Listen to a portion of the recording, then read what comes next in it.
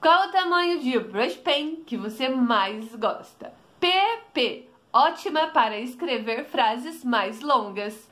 P, perfeita para títulos longos. M, boa para treinar lettering. G, ótima para fazer capas de trabalho. Ou GG, para letterings 10 barra 10.